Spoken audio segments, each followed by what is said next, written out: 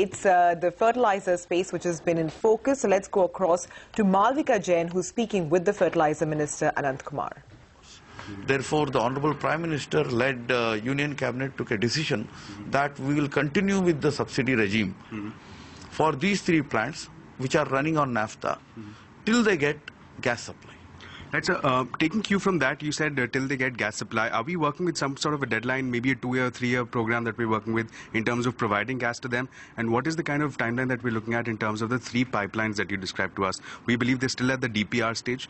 Uh, how, how, many more months or years to go before we can uh, actually realize the supply of gas? Actually, the then uh, UPA government, Congress government at the center took a decision to convert these three plants to gas-based plants in 2007 they took a sweet seven years time thinking about it and doing nothing.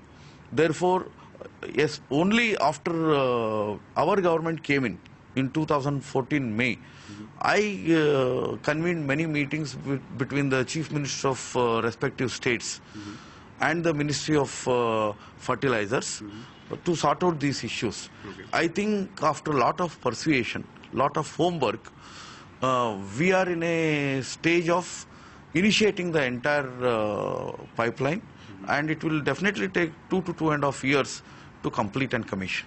Fair Uh, so just uh, talking about the subsidy angle of this, uh, what is the additional burden that the government is looking at on account of extending the naphtha subsidies? Uh, it will be 890 crore rupees per year additional uh, subsidy.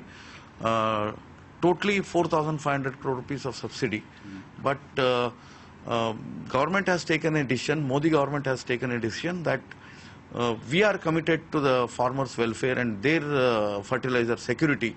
Therefore, we are ready to forego this additionality. So just one final question. Uh, this one, a slightly associated issue with respect to linking the subsidies with DBT. That was something that the government was working on. If you can just give us a status update of sorts as to where things stand right now. Has the report been submitted, if at all, and what are the recommendations? We have already installed uh, fertilizer monitoring uh, system, FMS. Now we are capable of monitoring uh, uh, from production to the dealer, dealer to the retailer, and retailer to the farmer also.